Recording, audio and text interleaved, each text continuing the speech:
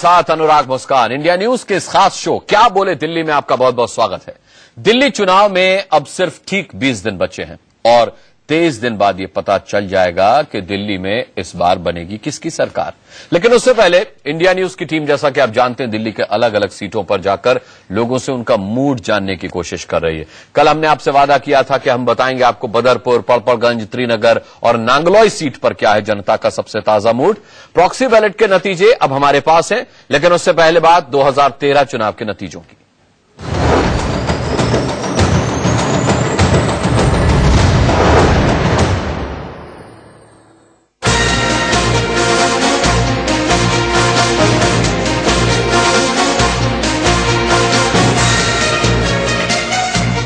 क्या बोले दिल्ली में हमारा आज का पड़ाव था? पटपड़गंज त्रिनगर, बदरपुर और नांगलोई जाट की सीट।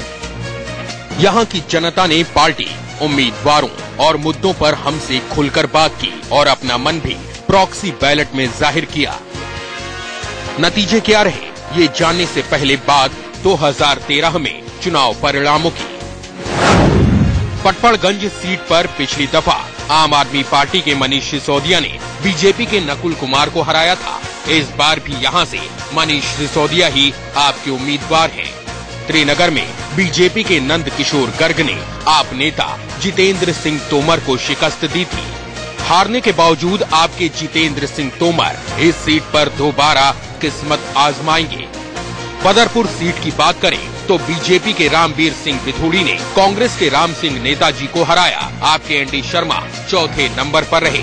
लेकिन केजरीवाल ने इस बार भी एनडी शर्मा को ही यहाँ से टिकट दिया है, जबकि नांगलोई में बीजेपी के मनोज कुमार शौकीन ने कांग्रेस के डॉक्टर विजेंद्र सिंह को मात दी और आपके नेता नवीन मेहता तीसरे नंबर पर रहे।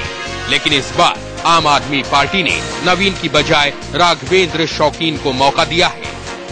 अब बड़ा सवाल ये है कि इस बार के चुनाव में चलेगा किसका जादू? क्या पुराने खिलाड़ी दिखाएँगे दम? या नए करेंगे कोई करिश्मा? क्या है इन इलाकों में? जनता का मुँह, नतीजे, बस थोड़ी देर में। Bureau report, India news. क्या बोले दिल्ली? नतीजे आपके सामने आए चार इलाकों के, उससे पहले बता दूँ कि हमेशा की तरह हमारे साथ स्टूडियो में वरिष्ठ पत्रकार मौजूद हैं। इस पर चर्चा करने के लिए अनुज गुप्ता जी हमारे साथ हैं और रास बिहारी जी हमारे साथ हैं। दोनों ही का हम बहुत बहुत स्वागत करते हैं। और आइए, पहला सवाल क्या पूछा गया और चारों इलाकों से जनता ने वोटिंग के ज़रिए क्या जवाब दिए, ये देख लेते हैं। पहला सवाल पूछा गया था कि दिल्ली के चुनाव में सबसे बड़ा मुद्दा क्या है? पड़पड़गंज के लोगों ने सबसे बड़ा मुद्दा भ्रष्टाचार को बताया। अड़तीस फ़ीसदी लोग देखिए भ्रष्टाचार को मुद्दा बताते हैं। सैंतीस महँगाई को, चौदह फ़ीसदी लोग सुरक्षा को, चार फ़ीसदी लोग पानी को और सात फ़ीसदी लोग बिजली को मुद्दा बताते हैं।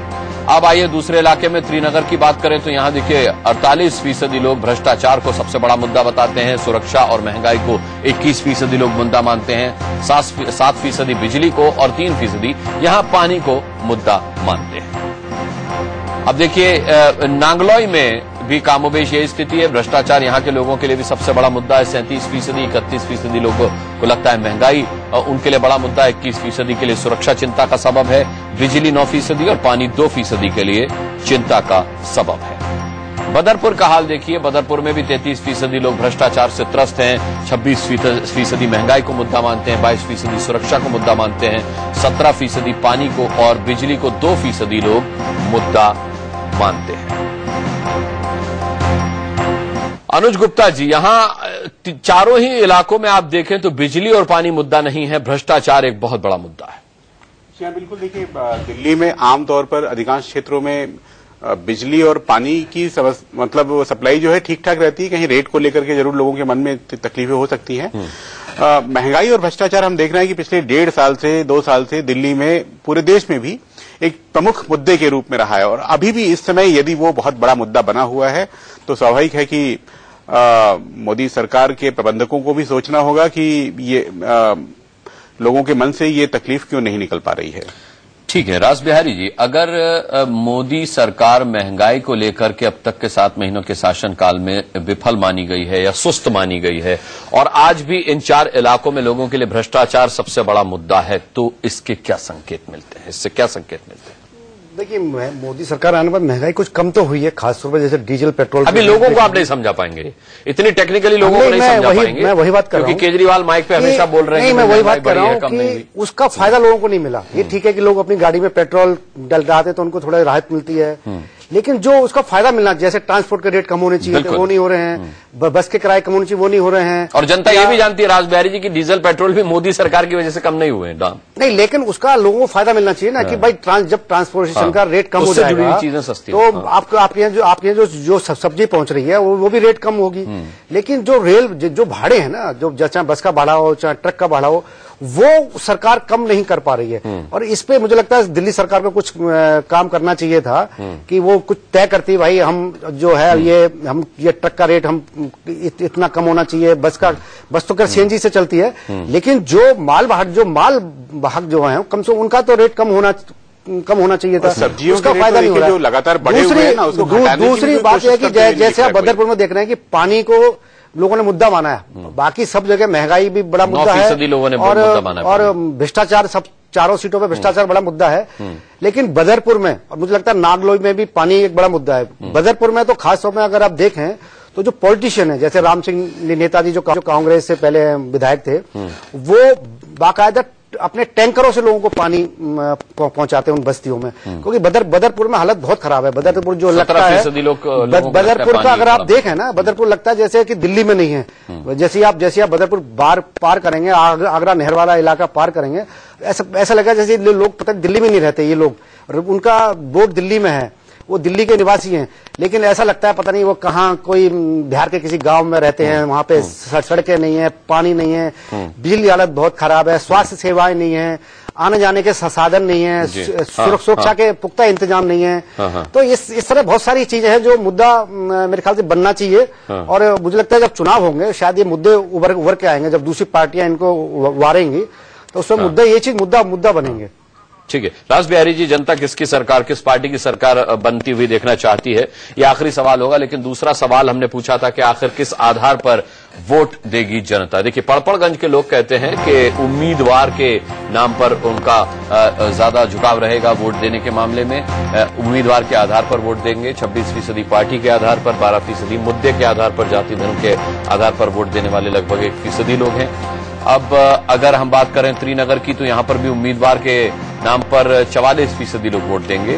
पार्टी के आधार पर बत्तीस फ़ीसदी और मुद्दे के आधार पर तेईस फ़ीसदी लोग वोट देंगे। एक फ़ीसदी यहाँ भी जन्म जाति और धर्म के आधार पर वोट देने वाले लोग हैं। नांगलोई की हालत क्या है? नांगलोई में लोगों ने कहा देखिए नांगलोई का बटा हुआ मामला है। पार्टी के आधार पर यहाँ ज़्यादातर वोट देने वाले लोग हैं। इकतीस फ़ीसदी और इकतीस फ़ीसदी ही उम्मीदवार और च, च, मुद्दे के नाम पर चुनाव में कूदेंगे। आ, बदरपुर का क्या हाल है? देखिए बदरपुर में पार्टी के आधार पर 55 फ़ीसदी वो लोग वोट देना चाहते हैं 33 फ़ीसदी उम्मीदवार के आधार पर वोट देंगे 7 फ़ीसदी मुद्दे के आधार और 5 फ़ीसदी यहाँ जाति और धर्म के आधार पर अ, वोट देने वाले लोग हैं। क्या कहेंगे अनुज देखिए जा, जाति और धर्म तो इस शहर में बहुत बड़ा मायने मायने रखता नहीं है। पार्टी और उम्मीदवार। इसमें जो पटपड़गंज है इकसठ प्रतिशत लोग कह रहे हैं उम्मीदवार। मुझे लगता है वो मनीष सिसोदिया से आकर्षित होकर के ये बात कह रहे हैं। क्योंकि आम आदमी पार्टी ने काफ़ी समय पहले से अपना उम्मीदवार घोषित कर रखा है। देखिए जिन चार सीटों की आज हम बात कर रहे हैं उनमें से तीन पर भाजपा के विधायक चुने गए थे और इसी पर केवल आम आदमी पार्टी का विधायक। ठीक है। चारों ही लोकसभा में बीजेपी की तरफ़ गए। लेकिन मैं चिंतित कहा हूँ मनीष जी के लिए? क्योंकि पटपरगंज सीट पर भाजपा को लोकसभा चुनाव में अड़तीस हज़ार विधानसभा में मिले और लोकसभा में अड़सठ हज़ार यानी तीस हज़ार वोटों का जो अंतर बढ़त हुई ये इन चार चारों सीटों में सबसे बड़ी बढ़त है। और यदि वो भाजपा अपनी उस बढ़त को बचाए रखने में कामयाब हो जाएगी तो फिर मनीष भाई के लिए वहाँ दिक्कत आ सकती है। अच्छा राज बिहारी जी मनीष सिसोदिया के लिए दिक्कत की एक और घंटी मैं बजा दूँ क्योंकि विनोद कुमार बिन्नी जो है वो भारतीय जनता पार्टी का दामन थाम चुके हैं और अंदर खाने खबरें ये भी हैं कि हालाँकि नई दिल्ली सीट पर उन्होंने मेहनत की है लेकिन खबरें ये भी हैं कि पड़पड़गंज से मनीष सिसोदिया के सामने लड़ाया जा सकता है उनको तो फिर दिक्कत तो बढ़ गई मनीष सिसोदिया की नहीं अब जैसे अभी अनुज जी ने कहा कि लोकसभा चुनाव में बहुत अंतर मतलब दोगुना अंतर है। और मुझे लगता है कि जैसे उम्मीदवार की बात है तो उम्मीदवार और पार्टी हम्म। मुझे लगता है कि ले दे के जो चुनाव होगा आखिर में जाकर पार्टी पर ही होगा अच्छा क्योंकि उम्मीद उम्मीदवार का मतलब ये भी हम मान सकते हैं कि भाई पार्टी पर लोग, हाँ। लोग मोदी को लेके मान के चल रहे हैं कि हमें मोदी सरकार बनानी है हम्म। अगर अगर हम इस हिसाब से देखें क्योंकि मोदी ने जहाँ भी प्रचार किया उनका मेरी सरकार बनाओ। आप दिल्ली में भी मोदी कह रहे हैं कि अगर आपको दिल्ली में हाँ। विकास चाहिए दिल्ली में जो पंद्रह साल में नहीं हुआ आपका आपको जो हक नहीं मिला वो आपको मैं हक दिलाऊँगा। मुझे लगता है कि हम उस तरह से भी इसको जोड़ के देख सकते हैं कि मोदी के नाम पर भी लोग वहाँ वोट डाल सकते हैं। ठीक है। अगर मोदी के नाम पर वोट डालेंगे तो आम आदमी पार्टी को वहाँ पर बहुत बड़ा नुकसान होगी पूरी मतलब आप बिन्नी के बिना बिन्नी को हटा करके ये बात हाँ। मतलब मुझे लगता है अगर कोई भी कैंडिडेट वहाँ होगा अगर बीजेपी कोई अच्छा कैंडिडेट होता उतारती है वहाँ पर तो निश्चित रूप से वहाँ बीजेपी मुझे लगता है आगे रहने की संभावना है बीजेपी की। अनुज गुप्ता जी आप मानते हैं कि अगर विनोद कुमार बिन्नी की जगह कोई और भी पड़पड़गंज से बीजेपी का चेहरा होता है मनीष सिसोदिया के सामने तो मनीष सिसोदिया के लिए एक बड़ी चुनौती होगी नहीं मेरे ख्याल से बार की तरह पहली बार में पहली निगाह में मुझे लगता है कि मनीष सिसोदिया की वहाँ जीतने की संभावना अधिक है हम्म। बिन्नी जी के उतरने के बाद उसमें कितना अंतर आने वाला है ये ना आपका आकलन में जानना चाहता हूँ कितना तो आप भी सवाल उठा रहे हैं तो वो कितनी मेहनत करते हैं ज़मीन पर हम्म। एक्सेप्टेबिलिटी अपनी कितनी बढ़ा पाते हैं वहाँ क्योंकि हाँ। अचानक उनके लिए नया क्षेत्र होगा वो वो पिछली बार लक्ष्मी नगर से चुने गए थे हम्म। पार्षद जहाँ से थे वो इलाका भी उनका दूसरा है। और नई दिल्ली से तैयारी कर रहे थे। हाँ। वैसे में पटपल पटपड़गंज जाना तो उनके लिए। वहाँ लगे हुए थे। जी हाँ बिल्कुल। इसीलिए मैंने कहा कि वो उनको व्यक्तिगत मेहनत भी वहाँ करनी होगी ना। तभी हम्म, बात लेकिन लेकिन एक पुराना रिकॉर्ड जो लेकर के वो आ रहे हैं आम आदमी पार्टी के साथ होने का और जिन मुद्दों पर उनसे अलग होने का उसका कितना फ़ायदा उनको मिलता हुआ दिखता आपको। उसका कुछ लाभ उन्हें ज़रूर मिलेगा जो उनके जो आम आदमी जो आम आदमी पार्टी से जुड़े जुड़े हुए कार्यकर्ता जो कभी उनके सं, सं, संपर्क में भी रहे होंगे लेकिन भाजपा के वोट भी तो उन्हें अपने साथ लेकर के चलने होंगे। दोनों चीज़ें जब मिलेंगी तब जाकर के उनके टक्कर में आने की मैं भी कहूँगा संभावना बन पाएगी। चलिए पड़पड़गंज और नांगलोई के लोगों की राय भी हम जान लेते हैं। कुछ लोगों ने कैमरे पर अपनी राय ज़ाहिर की है ये भी सुन लेते हैं फिर आगे बढ़ते हैं। देखिए दिल्ली के लिए सबसे बेहतर तो है सबसे पहले सुरक्षा। महँगाई, भ्रष्टाचार, और ये जो है, दिल्ली के अंदर जो है, सरकार आनी चाहिए, पूर्ण बहुमत से सरकार जो आनी चाहिए, इन सब चीज़ों से जो निजात दिला सकती है, वो है भारतीय जनता पार्टी। केजरीवाल साहब ने क्या किया जनता ने उनको विश्वास किया था, लेकिन वो उनचास दिन में सरकार छोड़ के भाग गए। जनता को ऐसे छोड़ गए। उसी का परिणाम है कि जनता के ऊपर दोबारा चुनाव का भार पड़ रहा है। मोदी का नेतृत्व अभी तक जो पिछले सात महीने से हमें नज़र आ रहा है मोदी से बेहतर स्टेट गवर्नेंस कोई भी नहीं दे पाएगा। अभी तक तो मोदी जी का ही ज़ोर है जो भी है अभी कितनी भी पार्टी आ जाए कुछ भी आ जाए लेकिन मोदी जी की सरकार बन के ही रहेगी हंड्रेड परसेंट बन उनचास दिन की उनकी सरकार रही है उन्होंने बहुत अच्छा काम करा है। मतलब बाइक वाइक लेकर निकलते थे तो कुछ नहीं होता पुलिस वाले पैसा मांगते थे बिजली पानी में बहुत अच्छा काम करा था उन्होंने। बीजेपी की सरकार आनी चाहिए। बीजेपी की सरकार आई है हमारे यहाँ पे एक सीसीटीवी कैमरे लगे हैं। हमारे पार्कों का सुधार हुआ हमारे रोड का सुधार हुआ हमारी गली का सुधार हुआ। जब से केजरीवाल आया उसने केजरीवाल ने आके बवाल कर दिया यहाँ पे। आम आदमी पार्टी चुनेंगे। केजरीवाल जी ने उनचास दिन के अंदर जो काम करके दिखाया वो आज तक किसी ने करके दिखाया नहीं। एक पहली एक पार्टी एक ऐसी है आम आदमी पार्टी जिनके जो मुख्यमंत्री हैं, उन्होंने महिला सुरक्षा के बारे में बहुत बड़ा ऐतिहासिक कदम उठाया है कि भाई हम जब हमारी सरकार आती है तो हम पूरी दिल्ली के अंदर सीसी कैमरे लगाएँगे दिल्ली के अंदर केजरीवाल से अच्छा कोई ऑप्शन नहीं है और जो उनचास दिन में केजरीवाल ने काम किया है वो कोई नहीं कर सकता। मोदी लहर दिल्ली में लगता है चलेगी। नहीं चलेगी। नहीं चलेगी। चलिए ये राज बिहारी जी अगर देखा जाए पड़पड़गंज जो इनकी सीट रही वहाँ पर लोग इनसे खुश नहीं हैं त्रिनगर जहाँ इनकी सीट नहीं थी वहाँ लगता है कि इस बार हाँ ये दो, देखिए दोनों जगह बदला हुआ माहौल है हाँ। जैसे मैं कह रहा था कि उम्मीदवार की जो बात है वहाँ भी सब लोग मोदी की बात कर रहे हम्म। हैं और और- और जो त्रिनगर में जितनी बात हुई है वो सब केजरीवाल मतलब आम आदमी पार्टी की बात कर रहे हम्म। हैं तो कहीं ना कहीं आप जैसे उम्मीदवार के तौर पर हो सकता है वहाँ पर जो केजरीवाल का चेहरा है वो लोग अच्छा अच्छा मान के चल रहे हैं उसको कि उनचास दिन की सरकार थी भ्रष्टाचार नहीं हुआ कोई रिश्वत नहीं मांगी गई हम्म। दोनों जगह दोनों जगह का बदला हुआ मूड है कि अब जय कि पटपटगंज में लोग मोदी के नाम पर वोट देने को तैयार हैं। श्रीनगर में लोग केजरीवाल के नाम पर वोट देने को तैयार हैं। जहाँ आजमा लिया केजरीवाल को, वहाँ शायद केजरीवाल की लहर नहीं है, और जहाँ नहीं आजमाया गया, वहाँ शायद लोग सोचते हैं कि उन्हें आजमाया जाए। तीसरा सवाल, दिल्ली चुनाव में क्या मोदी की लहर चलेगी? देखिए, क्या रिएक्शन आए? पड़पड़गंज के लोग कहते हैं, तिरसठ फ़ीसदी की हाँ मोदी की लहर चलेगी, सैंतीस फ़ीसदी कहते हैं कि मोदी की लहर नहीं चलेगी। पड़पड़गंज में देखिए, बीजेपी का पड़ला भारी है। इसके अलावा अगर श्रीनगर की बात करें तो बीजेपी यहाँ पर ड्रैग करती हुई नज़र आती है। मोदी की लहर नहीं चलेगी, ऐसा तिहत्तर फ़ीसदी लोग मानते हैं और सत्ताईस फ़ीसदी केवल मानते हैं कि मोदी की लहर चलेगी। ये त्रिनगर का हाल है। नांगलोई में देखिए आप लगभग नेक टू नेक मामला है। यहाँ पर इक्यावन फ़ीसदी लोग कहते हैं कि चलेगी और उनचास फ़ीसदी लोग कहते हैं कि नहीं चलेगी। अब देखिए बदरपुर में देखिए इकतालीस फ़ीसदी लोगों का मानना है कि मोदी की लहर नहीं चलेगी उनसठ फ़ीसदी लोगों का मानना है कि मोदी की लहर चलेगी। यानी नांगलोई और बदरपुर में अनुज गुप्ता जी कांटे की टक्कर है। जी हाँ बिल्कुल। मामला। नांगलोई जाट ऐसे देखिए इकतालीस फ़ीसदी लोगों का मानना है कि मोदी की लहर नहीं चलेगी उनसठ फ़ीसदी लोगों का मानना है कि मोदी की लहर चलेगी। यानी नांगलोई और बदरपुर में अनुज गुप्ता जी कांटे की टक्कर है। जी हाँ बिल्कुल। मामला। नांगलोई जाट ऐसी सीट है देखिए दिल्ली में जो सत्तर सीटें हैं, उनमें से पंद्रह सीटें ही ऐसी थी पिछले विधानसभा चुनाव में जहाँ पहले और दूसरे की लड़ाई कांग्रेस और के बीच हुई थी और उनमें से छह सीटें कांग्रेस जीत करके गई थी। यानी जहाँ उसके वोट आम आदमी पार्टी की तरफ़ नहीं गए थे वहाँ पर कांग्रेस अच्छी टक्कर में रही थी। भाजपा ने लोकसभा चुनाव में यहाँ छह सात हज़ार वोट तो बढ़ाए लेकिन अ, आम आदमी पार्टी के वोट भी यहाँ पच्चीस हज़ार से बढ़ के अड़तालीस हज़ार हो गए थे। इसलिए अ, मुझे लगता है कि जैसा कि आपका सर्वेक्षण भी दिखा रहा है वास्तव में यहाँ कांटे की टक्कर होने की संभावना दिखती है। अ, इस बार यहाँ आम आदमी पार्टी ने अपना उम्मीदवार बदल दिया है रघुवीर शौकीन को इस बार उतारा है और कांग्रेस ने जो डॉक्टर विजय सिंह पहले दो बार के एमएलए रहे उन्हीं को दोबारा उतारा है। बीजेपी का उम्मीदवार अभी यहाँ आना बाकी है। हम्म, जी रास बिहारी जी आप क्या कहेंगे?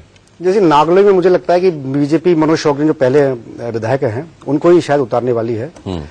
और जहाँ तक बात है कि मोदी लहर ना चलने की केवल एक त्रिनगर छोड़ दें हम कि त्रिनगर में लोग करें मोदी लहर नहीं चलेगी। लेकिन मेरा मानना है जब चुनाव होंगे जब बीजेपी की सीटें बढ़ जाएँगी जो जब चुनाव प्रचार होगा तो निश्चित रूप से दिल्ली में मोदी लहर चलती हुई दिखाई देगी। और दूसरा एक बड़ा कारण यह भी है कि आम आदमी पार्टी का अभी अब ठीक है कि अभी कैंडिडेट नहीं है। और सब सब लोग केजरीवाल चूँकि बड़े आंदोलन में नेता रहे बार बार टीवी चैनल में छाते रहते हैं मीडिया में छाते रहते हैं दूसरा क्या है कि अगर जैसे जैसे हम अगर हम बदरपुर की बात करें तो बदरपुर में क्या है कि लड़ाई जो है वो दो लोगों के बीच रहती है।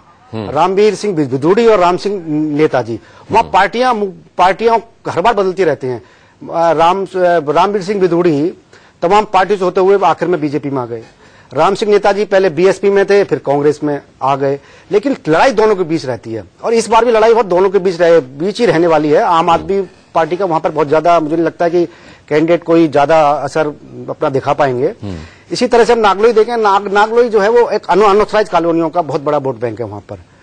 और जो कुछ अभी जैसे वहाँ पर महँगाई को बहुत बड़ा मुद्दा मानते हैं विश्वास को बड़ा मुद्दा मानते हैं मुझे लगता है कि आखिर में जाके जब मोदी लहर चलेगी क्योंकि मोदी एक तरफ़ ये साबित क्योंकि भ्रष्टाचार के खिलाफ जो लड़ाई लड़ने का दावा केजरीवाल कर रहे हैं उनचास दिन का वो दे रहे हैं मोदी के पास भी सात महीने की सरकार चलाने का दावा है।